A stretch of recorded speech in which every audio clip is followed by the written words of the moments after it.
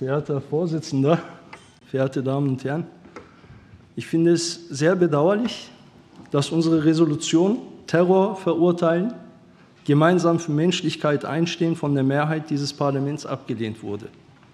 Das zeigt uns, dass es einigen Parteien hier nicht wirklich um das Thema geht, sondern um Profilierung der eigenen Ideologie. Das finde ich sehr traurig. Übrigens, Herr Ritter, ich habe Ihre Rede gehört, ich musste kurz raus. Äh, Sie haben mir unterstellt, ähm, beziehungsweise Sie haben unterstellt, dass diese Demonstration irgendwie nicht im Namen des Friedens war. Ich kann Ihnen, das Plakat wurde verteilt bundesweit, da steht Kundgebung für Frieden, Gerechtigkeit und im Nahen Osten. Und ich war einer der Gastredner, eingeladen von der palästinensischen Gemeinde Hessen.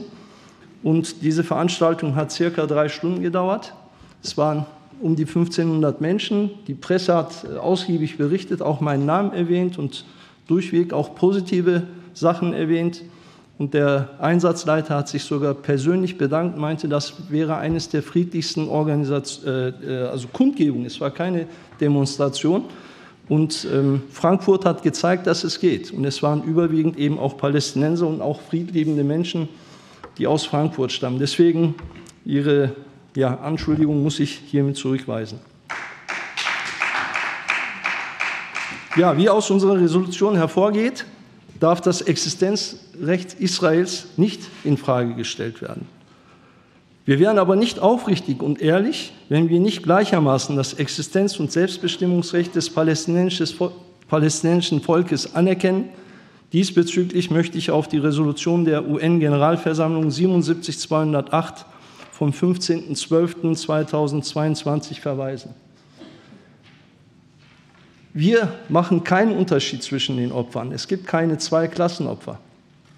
Wir sagen nicht, Palästinenser sind weniger wert als Juden oder Israelis oder umgekehrt, sondern wir sagen, es sind dort Menschen gestorben. Und wir wollen das auch beziffern. Die terroristischen Angriffe der Hamas vom 7. Oktober 23, bei welchen rund 1400 israelische Todesopfer und mehr als 5400 Verletzte in Israel verzeichnet wurden, darunter unzählige unschuldige Zivilisten, sind durch nicht zu rechtfertigen und werden von uns in aller Schärfe verurteilt. Das ist, eine, äh, das ist nicht nur meine Meinung, sondern das ist die überwiegende Meinung der Frankfurter und der, der Muslime, die auch in dieser Stadt leben. Viele haben diesen Terrorangriff verurteilt. Viele haben Pressemitteilungen rausgegeben. Viele islamische Organisationen haben sich positioniert, obwohl das kein Religionskrieg ist. Es ist ein politischer eine politische Auseinandersetzung seit 75 Jahren und es ist auch keine antisemitische Auseinandersetzung. Ich möchte hier eine Begrifflichkeit klarstellen.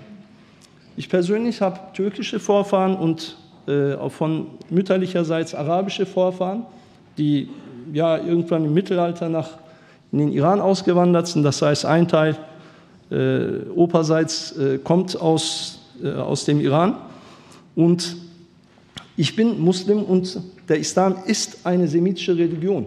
Der Koran hat eine semitische Sprache, so wie die Sprache der Tora, so wie die ursprüngliche Sprache des Bibels.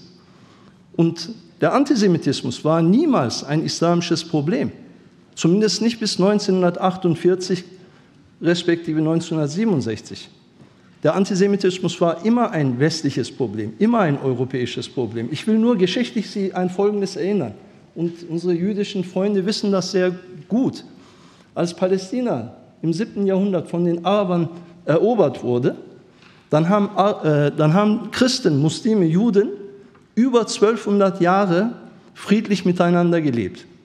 Dann wurde Palästina erobert 1517 von den muslimischen Osmanen. 400 Jahre äh, haben Muslime, Juden, Christen in Frieden miteinander gelebt. Aber ich will noch mal zurück zur Geschichte gehen, und zwar in die europäische Geschichte. 711 haben die arabischen Muslime Andalusien in Spanien erobert. Wie lange waren sie dort? 711 bis 1492, als die christlichen, katholischen Spanier die Juden aufgefordert haben, entweder zu konvertieren oder man ihnen angedroht hat, übrigens auch den Muslimen natürlich, sie umzubringen. Und es war der osmanische Sultan, der 1492 Schiffe nach Andalusien geschickt hat, und Juden ins Osmanische Reich geholt hat. Und 400 Jahre haben die Juden im Osmanischen Reich friedlich gelebt mit Christen, mit, äh, Mus, äh, mit Christen, Muslimen und natürlich Juden. Und 800 Jahre europäische Geschichte in Andalusien dürfen wir auch nicht vergessen. Das war die Blütezeit des Judentums. Ja? Denken wir an die ganzen großen Philosophen Andalusiens, die sozusagen in einem Disput standen, in einem positiven Disput. So, deswegen den Antisemitismus den Muslimen zu unterstellen, das ist mehr als äh, Geschichtsfälschung. Äh, äh, deswegen müssen wir das zurückweisen. Natürlich gibt es ein Problem seit der Besatzung vieler Gebiete der Palästinenser, darüber möchte ich auch reden, dass Menschen sich natürlich aufregen und sagen, wie kann es sein, dass in unser Haus eingedrungen wird und es hört nicht auf mit der Besatzung. Und dass dann natürlich ein gewisser Hass entsteht. Das ist zwar nicht zu rechtfertigen, aber vom Verständnis her können wir das nicht auseinanderhalten. Ich rechtfertige das nicht. Ich rechtfertige auch nicht den Hass der Jugendlichen, die sozusagen auf die Straßen gehen und irgendwelche Parolen von sich geben. Irgendwie anti-israelische, anti-jüdische. Nochmal, es ist nicht der Geist des, äh, des Islam oder irgendwie des äh, Arabischseins, weil die Geschichte sagt was ganz anderes. Im Gegenzug gab es mehrere Pogrome, mehrere Vernichtungen gegenüber in Juden in, in Europa. Und ich brauche uns nicht an unsere Geschichte in Deutschland zu erinnern. Und der, die Gründung des Staates Israel steht in einem sehr direkten Zusammenhang übrigens damit, mit der Shoah. Deswegen ist unsere besondere Verantwortung nicht, gegen, nicht nur gegenüber unseren israelischen Freunden, unseren jüdischen Freunden gegenüber, sondern auch den Palästinensern gegenüber, weil sie leiden genauso unter der Situation.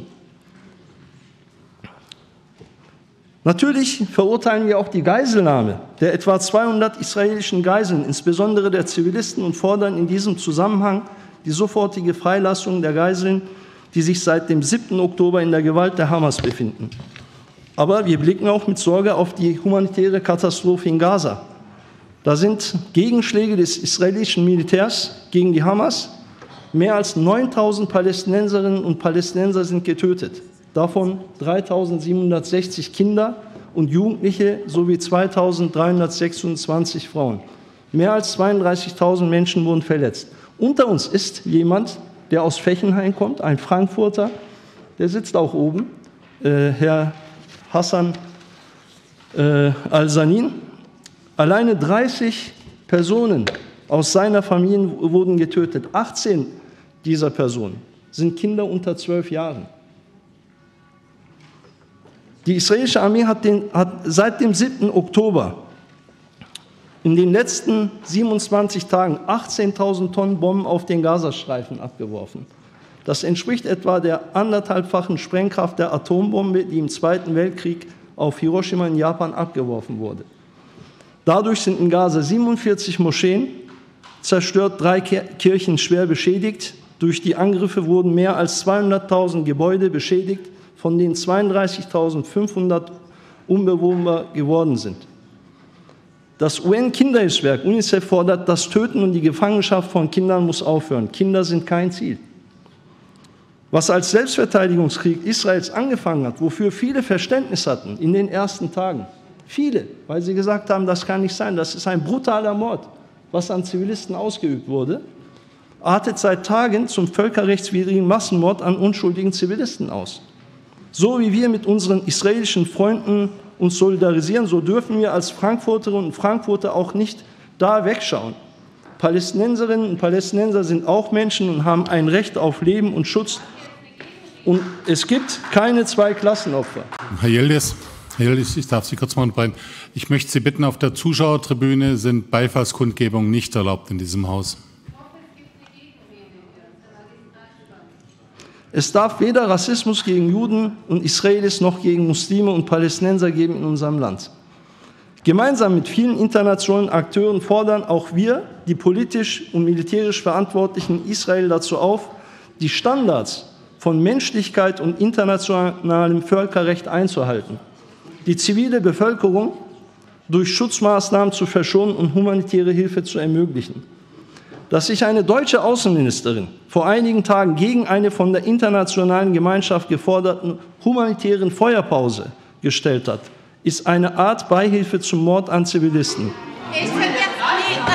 Die Menschen in Gaza bräuchten Wasser, Medizin, Sprit und wollten wenigstens ihre Toten bergen. Das wurde ihnen verwehrt. Da muss man fragen, wo bleibt so, ihre Herr Yildiz, Ihre Redezeit der ist abgelaufen. der Bundesregierung?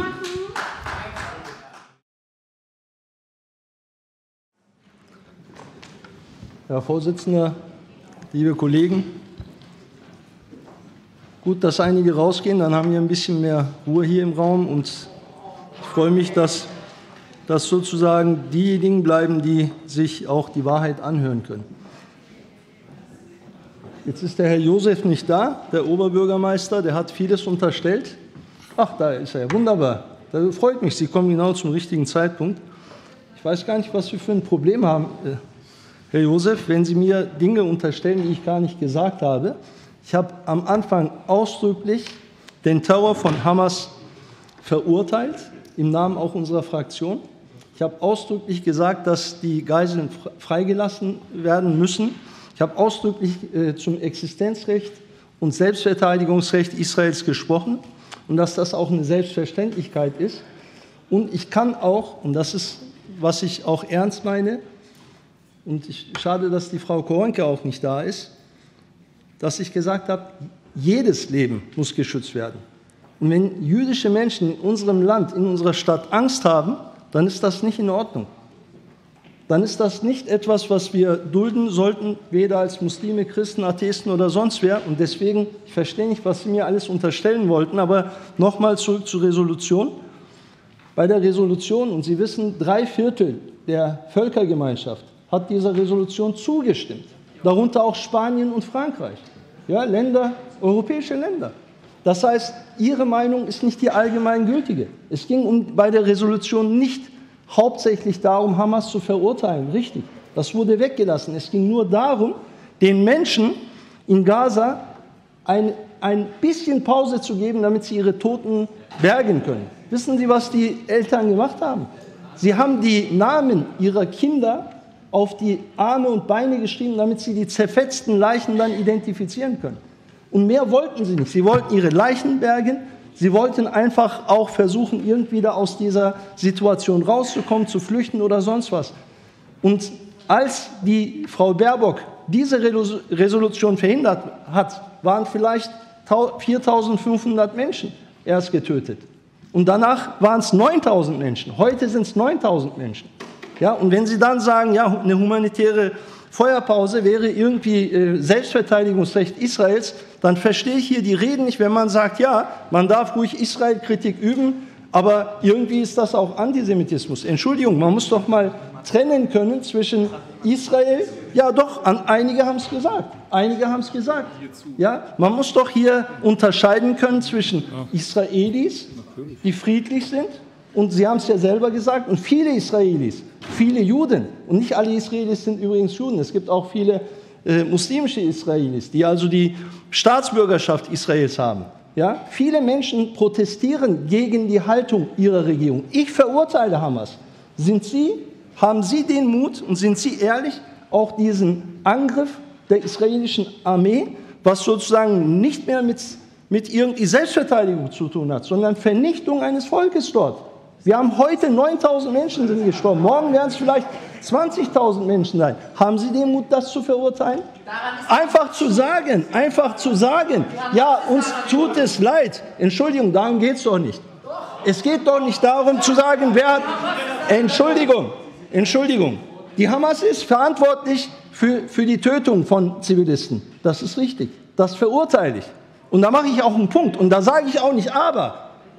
Da sage ich überhaupt nicht aber. Das habe ich nicht gesagt. Ich habe nicht gesagt aber. Und es ging auch gar nicht bei dieser ganzen Rede, und das wollte ich auch gar nicht, sondern einfach diese, ich finde das eine Heuchelei, zu sagen, ja, äh, die armen Palästinenser, aber dass sie dann nicht in der Lage sind, auch diese Gräueltaten der israelischen Armee zu verurteilen. Und das ist, und das ist drei Viertel Meinung der Weltengemeinschaft. Entschuldigung. So, Jetzt, äh, Frau Korenke, Sie waren ja im letzten Ausschuss, im Diversitätsausschuss, und Sie haben einen Satz gesagt, und das hat mich sehr beeindruckt, und ich habe Ihnen auch da geantwortet. Sie haben gesagt, ich, Sie, jeder kennt meinen Standpunkt und weiß, wer ich bin. Und ich weiß es auch eben über die Presse, wir kennen uns nicht, aber ähm, ich kenne Ihren Standpunkt, das ist gut. Und Sie haben gesagt, ich mache mir Sorgen um muslimische Jugendliche, dass wir sie dass wir sie nicht äh, vielleicht abgeholt haben und dass diese Stimmung so ist, wie sie ist. Und wir müssen alle an einem Strang ziehen, dass diese Situation eben nicht so ist, wie sie ist. Und da habe ich Ihnen zugestimmt. Und ich habe Ihnen auch gesagt, ja, wir auf jeden Fall sind einverstanden mit dieser, mit dieser Forderung und habe Ihnen auch gesagt, die palästinensische Gemeinde in Hessen, mit denen ich dann auch anschließend einen Termin hatte, die gesagt haben, ja, wir sind bereit, auf die israelische Gemeinde hier um natürlich auch auf die jüdische Gemeinde zuzugehen, aber wir brauchen natürlich Menschen, die das auch vermitteln. Wir brauchen Vermittler in der Gesellschaft, nicht Spalter, nicht Hetzer. Ja? Und, und ich, ich würde es sehr begrüßen, wenn Sie dieses Angebot annehmen, dass sozusagen äh, diese Trille, äh, dass eine Forderung, oder was heißt eine Forderung, ein Wunsch der palästinensischen Gemeinde in Hessen ist, dass Frankfurt eine äh, Städtepartnerschaft mit Bethlehem eingeht, so wie mit Tel Aviv wo auch viele palästinensische Muslime und Christen leben.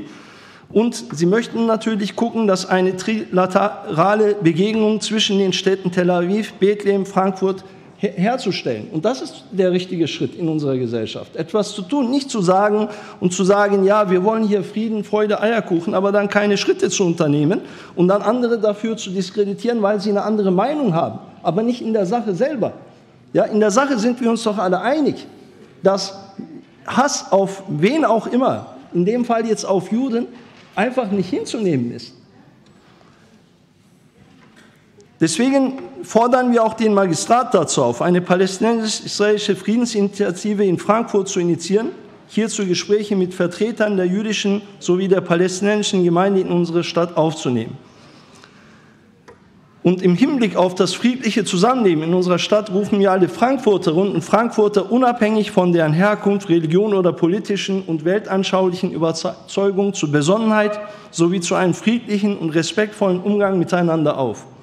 Kriege aus anderen Regionen, egal wo diese stattfinden, dürfen uns nicht auseinanderdividieren und erst recht nicht auf unseren Straßen ausgetragen werden. Das war auch übrigens meine Rede vorletzten Samstag, dass wir gesagt haben, eine Kundgebung ist dann nur eine friedliche Kundgebung, wenn wir nicht gegen andere hetzen und wenn diese friedlich verläuft. Und das, ist, das war der Fall. Alle Menschen guten Willens rufen wir dazu auf, den Dialog zu suchen und einen Beitrag dazu zu leisten, dass die Spirale der Gewalt im Nahen Osten durchbrochen wird. Wir in Frankfurt können unseren Teil zur Menschlichkeit und Verständigung beitragen.